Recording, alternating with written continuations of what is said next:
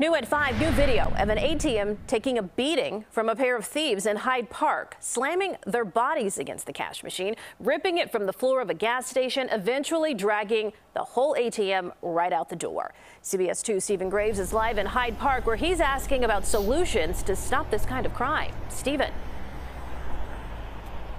Well, Erica, all the damage cleared up here tonight, but as businesses and even legislators eye solutions to this crime, one security expert is saying there's really only one way to attack the issue.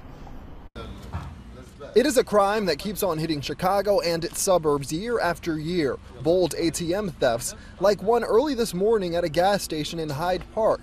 Not even bolts could stop these burglars. Video shows them repeatedly body slam the machine to the ground.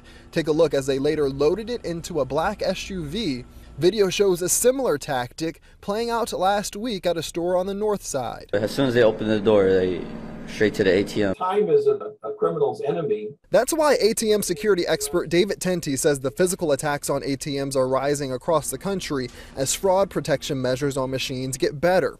The problem only getting worse since the pandemic. We're, we're seeing in, in New York City now, there's so much crime against ATMs that we're starting to, you know, have some concern that uh, the operators won't be able to get the insurance they need to operate. Which could mean fewer places to get your cash. Tente says about 60% of ATMs are at independent businesses, stores that have even been rammed into by cars for those ATMs. That prompted state and local city leaders in Ohio, for example, to introduce legislation for businesses in 2016, requiring barriers outside, certain length of bolts that go into the ground, and putting machines in the back of stores stores.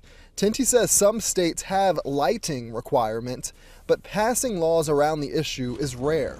The one thing he's now focused on to stop this, getting stricter penalties for criminals. Because of the laws in many states, uh, whether you steal a candy bar or break into an ATM, the, the crime is the same. Talks ongoing to help put an end to a crime costing money for many. And there are other there are other things like GPS trackers and money tainting software that can be used in ATMs, but those of course cost more money. We did reach out to the mayor's office, even Chicago police, to figure out if they are attacking the issue here locally, ways they're doing that. We haven't heard back yet, but we'll keep asking. Live in Hyde Park, Steven Graves, CBS 2 News.